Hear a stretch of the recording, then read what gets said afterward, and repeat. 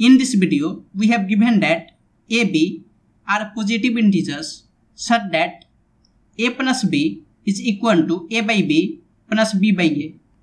And we have to find the value of a square plus b square.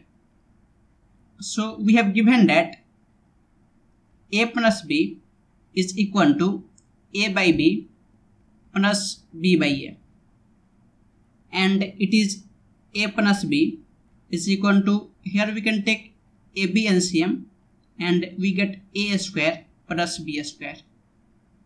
And if we multiply by ab both side then we get ab times a plus b is equal to a square plus b square. And we get a square b plus ab square is equal to a square plus b square.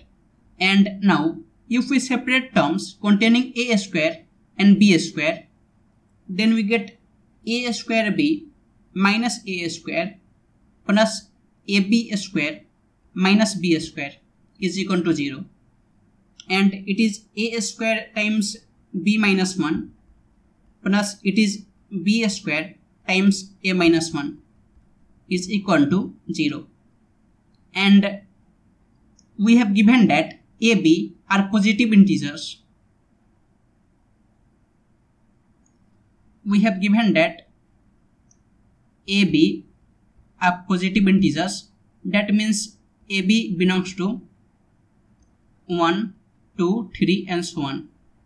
So a square is always positive and b is greater than or equal to 1 so b minus 1 will be greater than or equal to 0 and b square is positive and a is greater than or equal to 1 so a minus 1 will be greater than or equal to 0 and sum of these two terms is equal to 0 so we get b minus 1 is equal to 0 and a minus 1 is equal to 0 or b is equal to 1 and a is equal to 1.